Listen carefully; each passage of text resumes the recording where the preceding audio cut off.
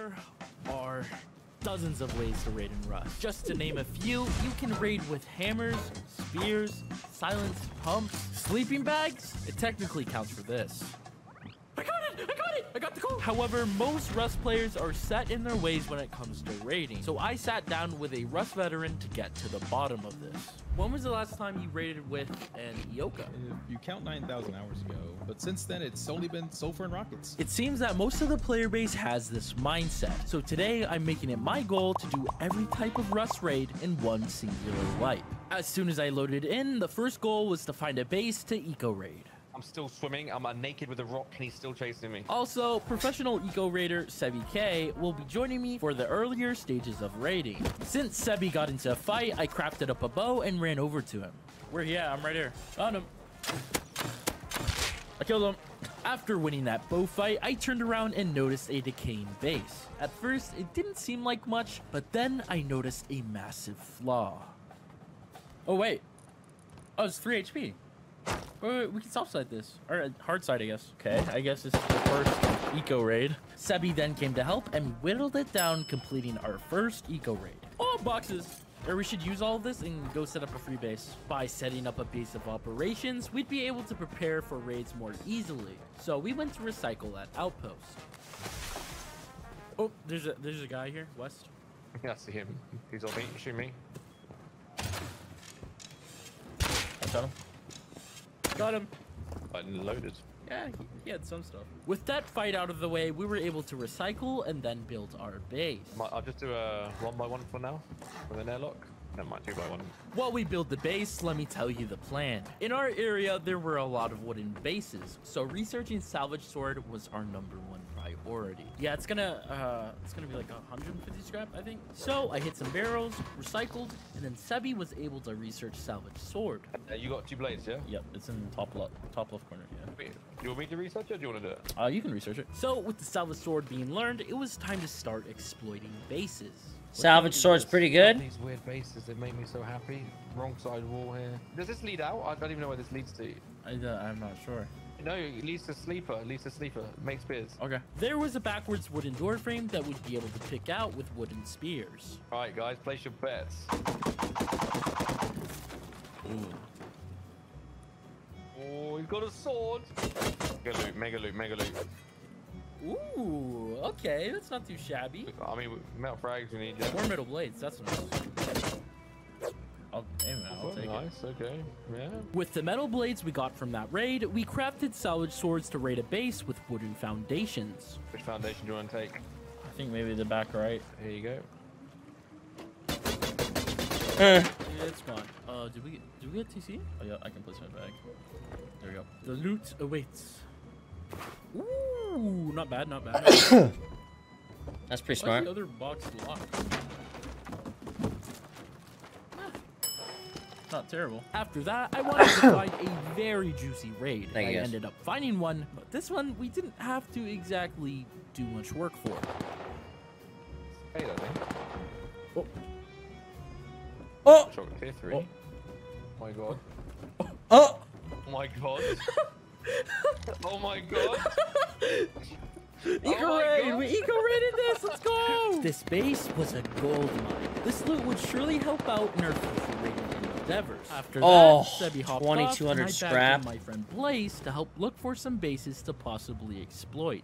Oh yeah. We took the scrap and went to Outpost to buy a minicopter. With this, we could fly all over the map, increasing our range in finding bases. Where to? I'm not sure. However, after searching for a little, we found something that piqued our interest. This base has a shop on it. It just kind of has some junk in it, but it probably has some like scrap. Oh, the vending machine's up top.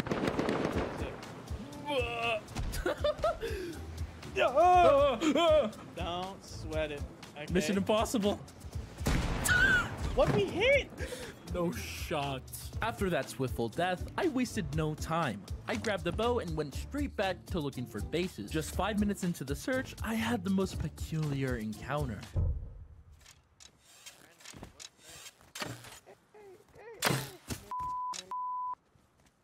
Yo, what did this guy just say? No.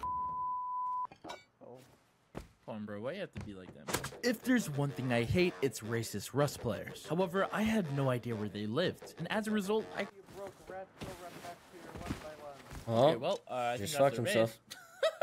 okay. All right. So we went over to their base with DBs to try and get one door deep before we started raiding. But something much better happened. Go deep with him. Let's go deep, yeah. Oh my god. Tommy. Oh, boys. Oh, no, no, he said. Wait, and boys. Hey, man. Hi. Wait, wait, okay, I'll let you in too. I'll let you in too. Here, help me, help me, help me. Alright, you can toss us the loot. Ruthless. Uh, If there is okay. any, I don't, I don't know. I mean, they're kind of for. Oh. Yeah. Eh. Here we go. Here. Uh, Oh, the stone, we needed that. Yeah, I'm grabbing stone and metal. The most primitive form of eco raiding.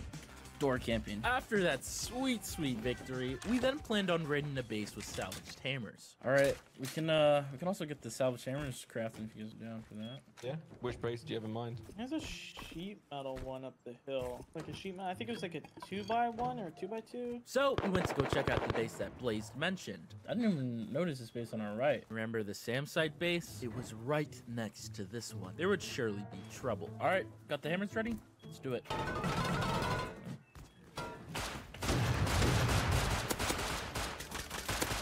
Oh yeah, there's Hold trouble. on. Here, I'm dropping you. It, it's not happening. It is not happening. Forward man that just ran up on us. Let's go. Let's go back with guns. There was like six. We had been jumped by the Sam site compounds group, so we swiftly ran back with gear before they could finish the raid.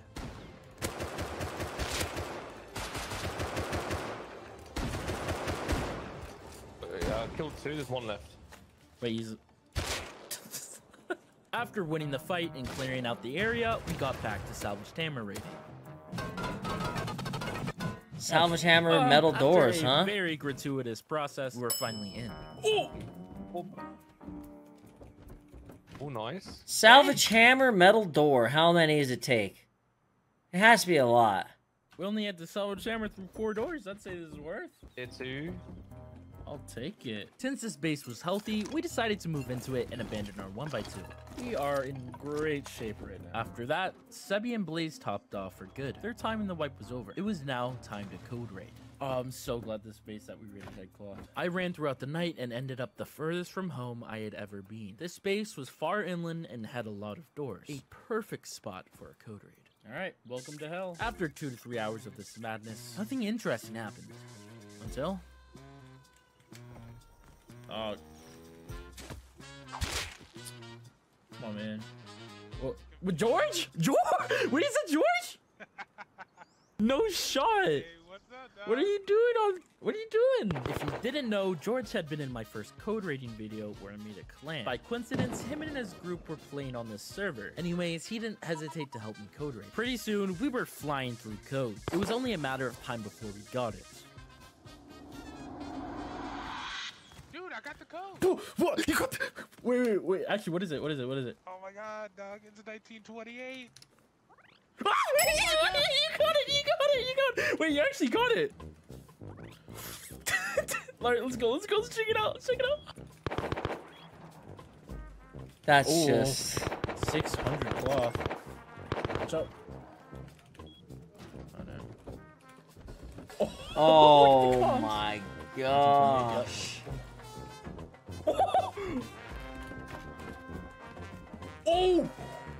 Look at the sulfur. Look at the sulfur, dude. This space is actually loaded. The code raid ate up six hours of my time. So when I spawned back at base, everything had changed. All right. Oh my god, that got massive.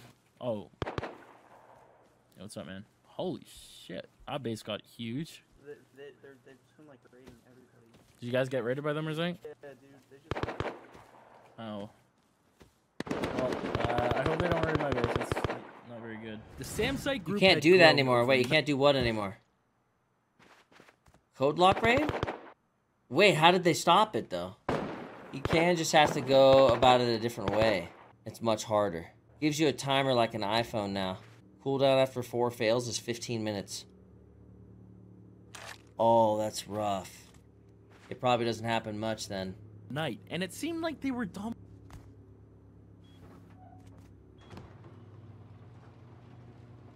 Getting raided? I don't think so. dominating everyone else in the area as well. It was clear to me that they were my last and final raid, the final boss. Here's the plan. I'd give George all the sulfur I got from raiding, it equates to roughly one and a half boxes of cooked sulfur. His group would craft up boom and make rockets. They'd meet up with me and give me some gear, then would build a raid base inside of their massive compound. That was the plan. All right, here we go. So they raided them first. Continue moving, like right here, right here, right here.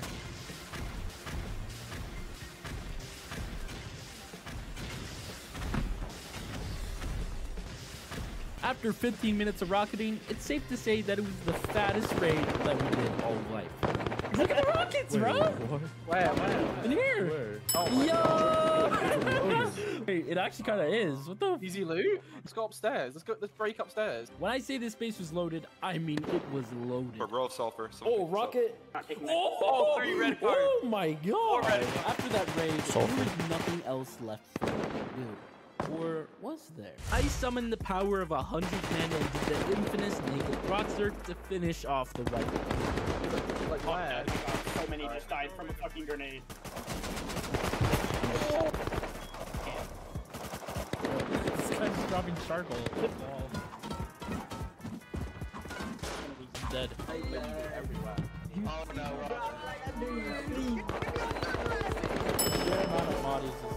Well, the entire Zerg was maddening. We at least did a little Rod Zerging. If you enjoyed this video, you'll enjoy me making a one grid wide base. Yes, click, click now.